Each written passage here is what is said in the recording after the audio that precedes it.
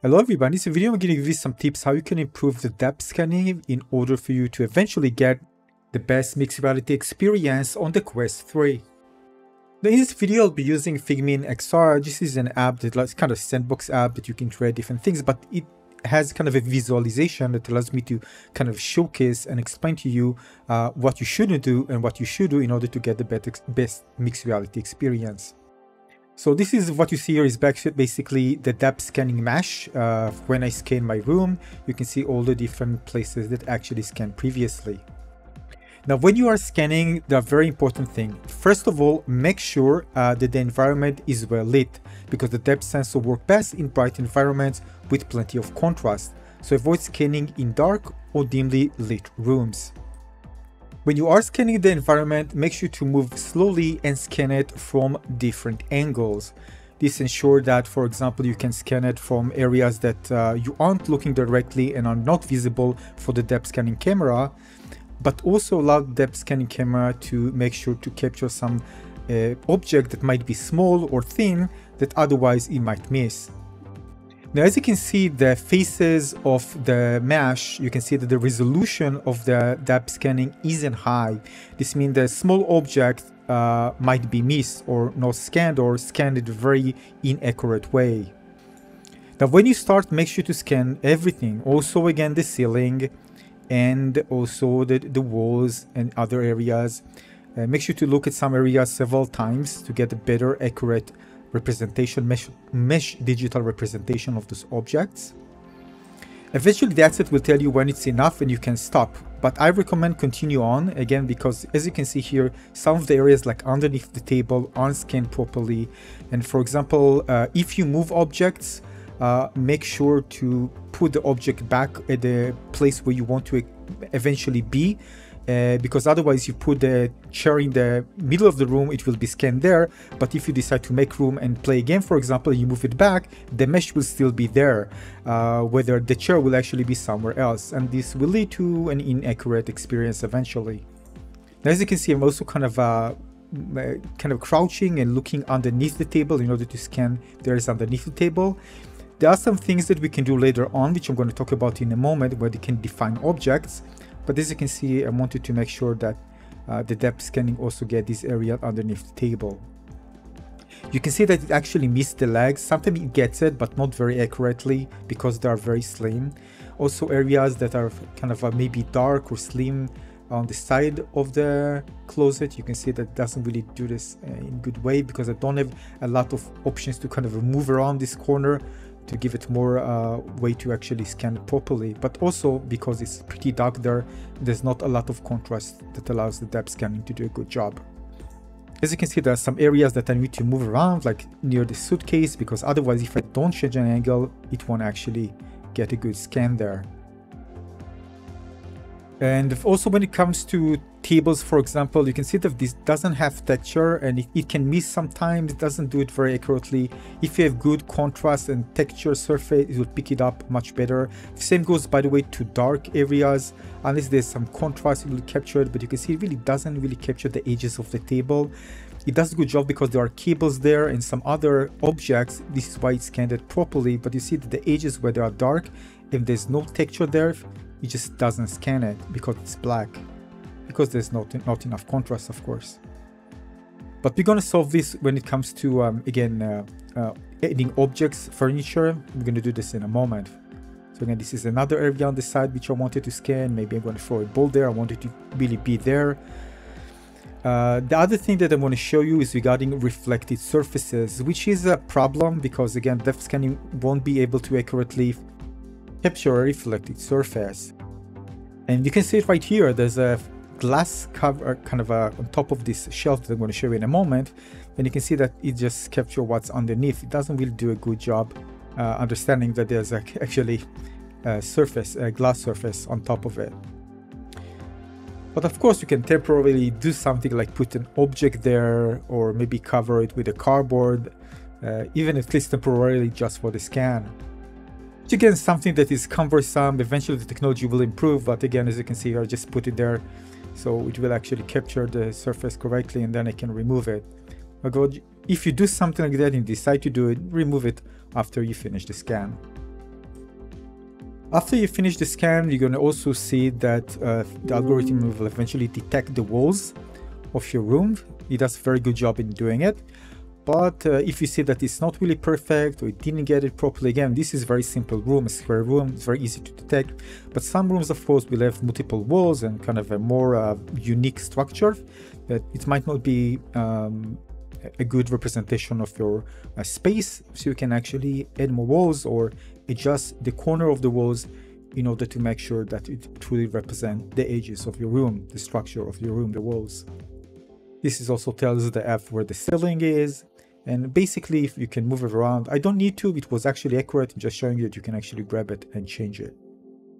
And once you're happy with the result you can approve it. Keep in mind again for some apps uh, very short depth scanning will be enough and you don't even need to do any def defining uh, things. Some apps just use the walls for example or the ceiling. Other like sandbox games you really want to have very uh, in-depth scanning because again this is just a lead for the experience itself in visuality to become better or let's say more accurate, especially when interacting with physics. So you see that I can actually define square options with the furniture, like the table there. And there's also a way to define doors and windows. Uh, this is basically something that developers can use because once you define it, they know developers where those specific objects are located and they can actually do some kind of interaction with them. But again, this is app specific. One of the problem when you design a table, I mean, one of the pluses is that you get a very straight definition of the table, right? The flat surface, the edges, great. Problem is that uh, the inside part of it is kind of a blocked. And I'm going to show you the way actually to, to overcome this is maybe try to define just the uh, right area, left area of the table and not make it until the top uh, and then on top of it just create a surface that attached to those um, uh, right and left blocks that you actually made. You can actually create a top part only because you need first to create something, uh, a surface that attached to the floor and then you have the surface and then on top of the surface you create something else. For example here I created a table and then I could define the box on top of it. If, for example, I define the table, you can see squarish, but again, if I throw a ball, a virtual ball underneath it, it will just get stuck. It won't actually appear underneath it. You can also define uh, windows. The way to define window is just point into the wall and it will actually know this is either kind of a picture, of a window, or a door. Here I'm defining a door. So regarding what I told you before, for example, if you really want to make sure that the space underneath the table is uh, not meshed, you can create uh, something that, uh, well, you need to create it not until the top, maybe just below it. I did it until the top, which is not good. But then you can actually create a surface uh, that covers the entire top of the table. But again, you need to create it from on top of the uh, uh, this 3D model that you already created and then you can just stretch it. But again, I didn't do a good job in terms of accuracy, but well, you get the point. So again, you're not restricted to create really something big. You can really create small portion with this square definement of uh, objects and then create something that defines the object itself rather than just going entire square over everything like you can see here. Now there's a space underneath which uh, actually is empty, there's no mesh there, an object can be appear underneath occluded underneath. Now the cool thing of Figmin app, uh, Figmin XR, allows you to actually showcase uh, the surfaces and the mesh. The mesh is kind of the, all this bubbly, not super accurate thing that you see there. And basically object will be uh, intersected and occluded based on uh, the mesh, based of course both on the walls you define, the object you define, and the mesh uh, that was done using the depth scanning. So now I'm going to demonstrate it. The app actually allows me to use only the surfaces, mesh or not at all. So it allows me to demonstrate. So this is just the mesh. And you can see that if I put the there, you can see it's not perfect because this is just the mesh. You can see that part of it is not straight line. All right, so again, it's uh, going to affect, of course, the appearance or occlusion of the object relatively to the physical surface. So if I turn it off, you can actually see that if I put it near the table, you can see that it's not really perfect there because the mesh, you can see actually the structure of the mesh if you move a virtual content underneath the physical one where the mesh is actually representing a structure. Now remember the table you see that I defined, I can't really put the boulder just stuck against the wall, but whether here, when I define it differently, you can see that it can appear occluded underneath it because I didn't define this as a table, I created different objects uh, that uh, define the table itself. This is the mesh, by the way, that actually scanned the laptop there. So it's pretty accurate as you can see. Just drop it there and pretty accurate. You can actually see now the mesh structure, why it's actually occluding and why it actually falls on the laptop because the depth scanning actually scanned the entire area there.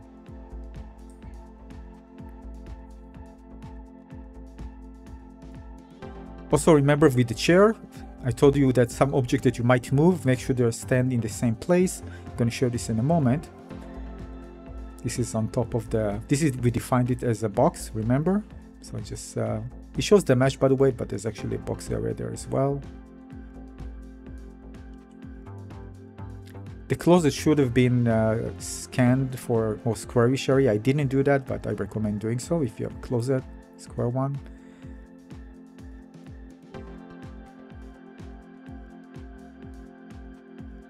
It's pretty accurate, right?